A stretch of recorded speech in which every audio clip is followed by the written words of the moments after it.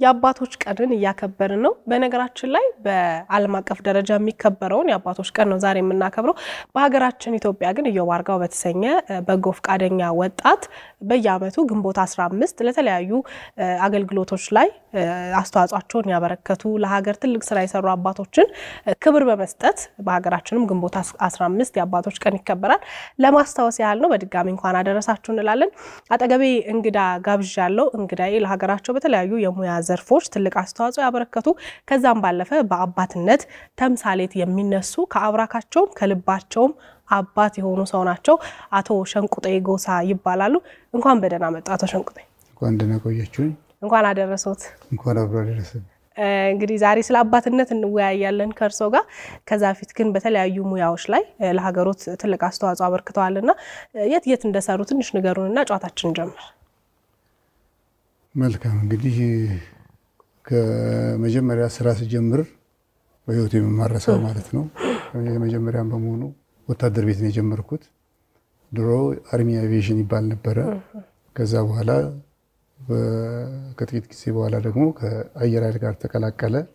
እዛ ከሀያ ሲደመር አመታት አገልግያለሁኝ በውትድርና ማለት ነው። በዛ ሆኜ ነው ኢትዮጵያን ጠቅላላ ያየኋት ማለት እችላለሁ። ምክንያቱም ብዙ ጊዜ እንወጣለን፣ እንሰራለን። በጣም ጥሩ እንትን የወሰድኩበት ቦታ ነው እሱ። ከዛ ከአየር ኃይል ከተቀላቀልን በኋላም እንደዚሁ ትምህርትም በሚገባ የሚያስተምር ድርጅት በለው እንግዲህ ተቋም ስለሆነ ብዙ እድል ያገኘሁበትና ብዙ ለስኬቴ ትልቅ አስተዋጽኦ ያደረገ ነው ወታደር ክፍል ለኔ በመማሬ ጥሩ ድርጅት አገኘሁኝ። GTZ የሚባል ድርጅት ነበረ። ትራንስፖርት ላይ የሚሰራ ነበር። እዛ እንደ አጋጣሚ ማኔጀሩ ፕሮጀክት ማኔጀሩ መጣ፣ ቀጠረኝ። በዛው አዲስ አበባ መጣሁ። ከአዲስ አበባ ወደ ጋምቤላ ሄድኩኝ። ጋምቤላም እንደዚሁ በዛው መስሪያ ቤት ስሰራ ቆየሁ።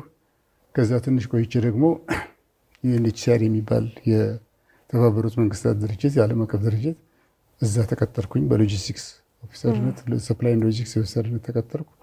ብዙ ዓመት አገለገልኩ። ከዛ በኋላ ደግሞ እንደገና በዛው በ UNHCR ስር የተለያዩ እዛም ሆኜ እየወጣሁ መለስ ነበረ። በኋላ ደግሞ እንደገና ዓለም አቀፋዊ እንትን ስለሆነ ያው ተመድቤ ደግሞ ወደ ውጭ እዛም ሰራ ቆይቻለሁ። በጣም ጥሩ።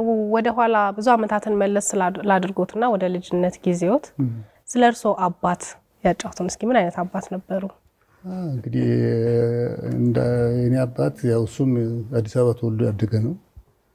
እዚሁ እኛን ወልዶ አርጅቶ እዚሁ ነው የሞተው።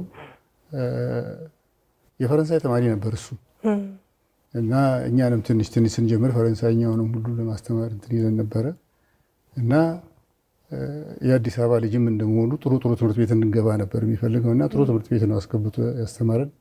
ትውልዳችን አዲስ አበባ ጃልሜዳ አካባቢ ስድስት ኪሎ የሚባል አካባቢ ነው እና በጥሩ ሁኔታ ነው እንትን ያለው። ጥሩ አባት ነበር። ቆንጆ ሁኔታ ነው ያስተማረን እኛን በእኔ ደረጃ ማለት ነው እና በጥሩ ሁኔታ ነው ያስተማረን። ለዚህም ነው ለዚህ ደረጃ ልንደርስ የቻልነው። እኛም ልጆቻችንን እሱ በፈቅ በቀደደልን መንገድ ያንን ፈር ተከትለን በሱ footprint እየሄድን ነው እንግዲህ እዚህ የደረስነው።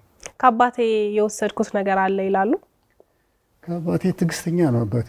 ብዙም አይናገርም ብዙ እንትን ማለትም እኔም ብዙ መናገርና ከሰው ጋር ብዙ አይነት ነገር ውስጥ መግባት አልፈልግም። ስራ ብቻ እንድትሰራ የምትፈልገው አይነት ብቻ እንድትፈጸም የምፈልግ አባትነት መጀመሪያ እንግዲህ ያው ሴቶች በሆዳቸው ወንዶች ደግሞ በአእምሯቸው ያረግዛሉ ይባላል እና ልጅ እንደተረገዘ ስናውቅ ወይንም ደግሞ አባት ልንሆን እንደሆነ ስናውቅ ጀምሮ እናትነትና አባትነት ይጀምራል ብዬ አስባለሁ። እና መጀመሪያ ጊዜ አባት ሊሆኑ የነበረበትን ጊዜ ሲያውቁ የተሰማዎትን ስሜት ያጫውቱን እስኪ። እንግዲህ አባት መሆን ራሱ ጸጋ ነው።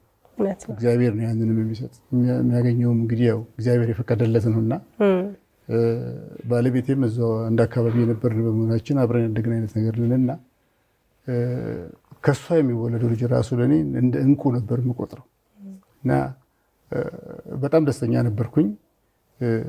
የመጀመሪያ ልጃችን ሴት ነች እና አሁንም ቢሆን እስካሁን ድረስ እንደ ብርቅዬ እያየናት ነው ያለን።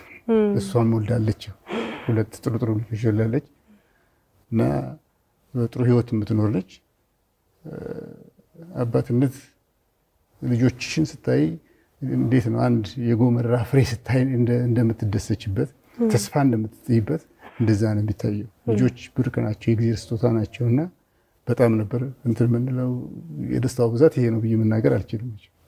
አባትም እናትም ያውቁታል። ልጆችን በማሳደግ የእናትም የአባትም ኃላፊነት ከፍተኛ ነው። ከህፃነታቸው ጀምሮ እየተከታተልን አድገውም አያቆሙም። የአባትነት እንክብካቤ፣ የእናትነት ጥንቃቄ አድገውም አያቆምም እና እርስዎ በቤቶ ልጆችን በማስተማር በማሳደግ ጠቀመኝ የሚሉት የተለየ ዘዴ አለ? ከልጆቹ ጋር ያለውት ቅርበት ማለት ነው። እነሱ መኖራቸው እኔ እንዳውም ከሁሉ ነገር ቆጥቦ ነው የኖርኩት ማለት እችላለሁ። ምክንያቱም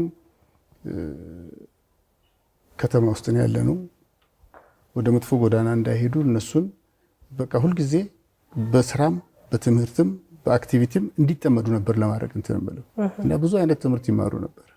ከትምህርት ቤት ውጭም ሌላ አይነት activity ዎች ይማራሉ፣ ይያዛሉ። የእነሱ ደግሞ ቤት መኖር አይ ልጆችን ማስጠናት ስላለብኝ በጊዜ መግባት አለብኝ። ለዛ determined ሆኜ ነበር የምሰራው እና ወጣሁ ከስራ በቀጥታ ቤቴ ነው የምገባው ለእነሱ ሲባል ማለት ነው። ፕሮግራም ካለ ሁላችንም አንድ በዛ አይነት መልኩ ነበር እና ራሴን እንድጠብቅ ራሴን እንዳውቅ ራሴን አልባሌ ቦታ እንዳላደርግ ካደረጉት አስተዋጽኦች ዋነኛው የልጆቹ መወለድ። እንግዲህ እርስዎ ፍሬውን አይተውታል ብዬ አስባለሁ።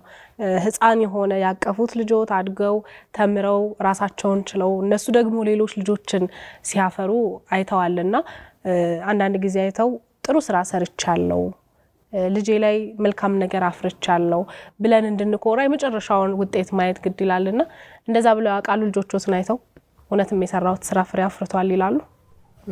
በጣም እላለሁ፣ በጣም እላለሁ። ምክንያቱም እስካሁን በጥሩ ጎዳና ነው የሚሄዱት። የሚባሉትን ይሰማሉ። ለሀገርም ይሁን ለወገን በጣም የሚያስቡ ናቸው። ከሁሉ በላይ ደግሞ እንዳነሳሽው ልጆች ሲወልዱ እነሱ ደግሞ ጭራሽ የበለጠ እንዴት ነው ተስፋሽን በጣም የሚያለመልሙትና ብርሃኑን በጣም ፏ አድርገው የሚያበሩ ሆኖ ምክንያቱም ስትገቢ መቶ ሲይዝሽ ራሱ ደስ ይልሻል። የልጅ ልጅ እና ጨዋታቸው፣ ቀልዳቸው ዘለው መጥተው እግርሽ ስር ቁጭ ብለው ምግብም ስትበይ ምግብሽን ተሻምተው ሲበሉ እንኳን እጅግ በጣም ልዩ ደስታ ነው የሚሰጠው እና እኔ በዚህ በጣም ደስተኛ ነኝ። በጣም በተለይ በልጅ ልጆቼ በኃይል ደስተኛ ነኝ። ደስ ይላል። ምን ያህል ልጆች አለው? ልጆቹን አስተዋውቁን እስኪ። ምን ደረጃ ላይ ደረሱ? ልጆች እንግዲህ አራት ልጆች አሉን። አንዱ ብቻ ነው የመጨረሻው ልጅ ነው እዚህ ያለው። እሱም አግብቶ ሶስት ልጆች ወልዷል። ሌሎቹ ከሱ በላይ እንግዲህ ከታች ልነሳ መሰለኝ። ከሱ በላይ ያለው አንድ ልጅ ነው የወለደው፣ ውጭ ነው ያለው፣ እሱም Europe ነው ያለው። ከሱ በላይ ደግሞ አንድ አለ፣ እሱም ውጭ ነው ያለው፣ አሜሪካ ነው ያለው፣ እሱም አንድ ወልዷል። ከሁሉ በላይ ደግሞ ትልቋ ሴት ነች። ሴቷ ሁለት ልጆች ወልዳለች። የእሷ ጥሩ ተምሳሌት መሆን የምትችል ልጅ ነች። በጣም ውጭ ሀገር ተወልደው አማርኛ እኔና አንቺ እንደምንናገረው ነው የሚናገሩት። ሁሉ ነገራቸው ኢትዮጵያ እንጂ ሌላ አይነት ሽታ የላቸውም፣ አይሸታቸውም ሌላ እና በጣም ደስ የሚል እንትናል። እነሱን ሳይኮራለሁ በጣም በእናንተ ዘመን ያለ የልጅ አስተዳደግ አለ። ያው ዘመኑም የሚያመጣቸው የተለያዩ ለውጦች ይኖራሉ እና በእናንተ ጊዜ ያለውን አባትነት የልጅ አስተዳደግ እና አሁን ያለውን አባትነት ያው በልጆቸውም ስለሚያዩ እስኪ ልዩነቱን እያነጻጸሩ ይንገሩ።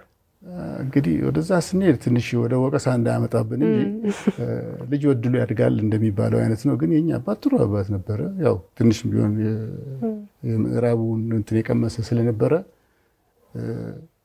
ያው በደህና እንዳሁኑ እንኳን ባይሆን የአሁኖቹ ልጆች በጣም እድለኞች ናቸው። ምክንያቱም ሁሉ ነገር ይታሰብላቸዋል። የወጣቶቹ አባቶች እነሱም አሁን ልጆቻቸውን የሚወዱ ናቸው፣ እያዘሉ የሚዞሩ ናቸው። አሁን ሳያቸው እንደውም ልጆች በጣም ወደ አባታቸው እያደሉ ተቸግረናል። እያዘሉ ነው የሚሄዱት እና to that extent ማለት ነው እስከዛ ድረስ እንደዚህ አይነት ነገር እንትን እያየን ነው። ለልጆች አሁን ጥሩ ነው እንትናቸው አመለካከታቸው፣ ወላጆች ማለት ነው እንግዲህ ይሄ ሁሉም ባይሆን አብዛኛው ደህና አይነት ሁኔታ ላይ ነው የማየው። እንግዲህ ራሱ እንትን ያልተማረበትን እንትን ለልጆቹ ግን ጥሩ ትምህርት ቤት መርጦ ነው የሚያስገባው፣ ጥሩ አይነት እንዳቅሙ ማለት ነው እና በዚህም በኩል ጥሩ ነው ላለሁኝ። እንግዲህ በኢትዮጵያዊ ማህበረሰብ እንደውም ሁሉንም ማጠቃለል አይሆንብንና እናት ብዙ ጊዜ ሽፍንፍን በማድረግ ጥፋትን ቢኖር በመደባበቅ በማዘን ነው የምትታወቀው። አባቶች ደግሞ አባቶቻችን ኮስተር ያሉ ቆጣ ያሉ ስርዓት እንዲኖረን የሚፈልጉ መስመር የሚያስይዙ ናቸውና ልጆች ሲያጠፉ ከመስመር ሲወጡ አባት በምን መንገድ መገሰጽ፣ በምን መንገድ መመለስ አለበት ይላሉ? ከእርሶ ልምድ ተነስተው። መጀመሪያ ከራስ ነው የሚጀምረው። እኔ ራሴን ያስተካከልኩ ሰው ከሆንኩኝ እኔን ነው የሚከተለኝ ልጄ። ራሴን ግን ባልባሌ ቦታ ማወል ከሆነ ለመቆጣጠርም እንትኑ ሞራሉ ሊኖረኝ አይችልም። ልቆጣም አልችልም። እናቱን እሱ ፊት እየሰደብኩ እና እየደበደብኩ እየመታሁ እንትን የምል ከሆነ ምን ነው የሚማረ ይሄ ልጅ? ያንኑ ነገር እንደውም ከዛ የባሰ ነው እንትን እያለ የሚሄደው እና በተቻለ መጠን መጥፎ ነገር ልጆች ፊት ላለማድረግ በሚያደርጉበት ነው ይሄ ልክ አይደለም፣ ይህንን አርመህ ይህን አስተካክለህ በዚህ ነው የምትሄደው የምናደርገውን ነገር ታያለህ። ስናደርግ እንደዚህ አይነት ነገር ስናጠፋ አይተሃል። አይ ስለዚህ ይሄ አይነት የለበትም መደረግ የለበትም በሚል ትገስጫለሽ። አለፍ ካለ እንግዲህ አንዳንዴ ደግሞ ትናሁን tone ሽን ጨምረሽ ትቆጫለሽ። እንግዲህ አንዳንዴም ደግሞ ያስፈልጋል፣ ሸንቆጥም ያስፈልጋል። ምክንያቱም መስመር ይስታሉ። ጥሩ አይደለም ልጅ በልጅነቱ አይናገርሽ እንጂ ካደገ በኋላ በጣም ነው እንትን የሚለው። አባቴ እንደዚህ ባያረገኝ ኖሮ እናቴ እንዲህ ባታረገኝ ኖሮ ለዚህ ደረጃ አልበቃም ነበር ምናምን ይላሉ። አሁን ይናገራሉ። እናንተ ባትከስሱና ባትይዙን ኖሮ ለዚህ ደረጃ አልበቃም ነበር ይላሉ። ሚስጥሩ እውነት ነው። እና መጀመሪያ ራስን ማስተካከል፣ ራሴን ከጠበቅኩኝ ልጅም እኔን ተከትሎ አባትነት ለአቶ ሸንቁጤ ምን ማለት ነው? የመጨረሻ ጥያቄ ላድርገው። አባትነት እንግዲህ ምን ትርጉም እሰጠዋለሁኝ? ራስን ማየት ነው። ህይወት የምትደግም መሆኗን ቅድም እንዳልኩት አንቺ በጥሩ አይነት ሁኔታ እንትን የምትዩ ከሆነ ልጆችሽ አንቺን መስለው ሲወጡ ሌላ ሸንቁጤ ተተክቷል። የሰው ልጅ ያው ኃላፊ ነው። ሲያልፍ ሌላ ተክቶ አልፏል። ለሀገሩም፣ ለወገኑም፣ ለሁሉም ነገር ተክቶ አልፏል። እንዲህ አይነት ነው እንግዲህ አባትነት የምለው። ተዝረክርኮ ወይም እንደፈለገ ቅድም እንዳልኩት መንገዴን ስቼ በሚሄድበት የሚሄድ ከሆነ ያ ምንም አላፈራሁም አባትም አይደለሁም ማለት ነው። አባትነት ግን ጥሩ ብቁ ዜጋ የሚያፈራ ምራቁን እንዲውጥ የሚያደርግ መንገዶችን ሲሳሳቱ የሚመልስ ቅርጽ የሚያስይዝ አይነት መሆን ይኖርበታል። በጣም አመሰግናለሁ አቶ ሸንቁጤ፣ ጥሩ ቆይታ ነበረን። እኔም አመሰግናለሁ። በድጋሚ መልካም የአባቶች ቀን አሜን። በጣም አመሰግናለሁ። በዚህ አጋጣሚ ጥሩ የትዳር ታሪክም እንዳለዎት ዘለግ ላለ ዓመታት ከባለቤቶት ጋር እንደቆዩ ሰምቻለሁ። በዚሁ ቀጠሮ ላስይዝ ባለትዳሮች የሚል ፕሮግራም ስላለኝ ከባለቤቶት ጋር እግዚአብሔር እንደፈቀደ በጣም አመሰግናለሁ። ስለ አባትነት እንዲህ በአጭሩ አውርተን የምንጨርሰው አይሆንም። የጊዜ ጉዳይ ሆኖብን ከአቶ ሸንቁጤ ጎሳ ጋር ስለ አባትነት ተወያይተናል። ቀሪ የእሁድን በኢቢኤስ ፕሮግራሞቻችን ይቀጥላሉ። መልካም የአባቶች ቀን፣ መልካም ጊዜ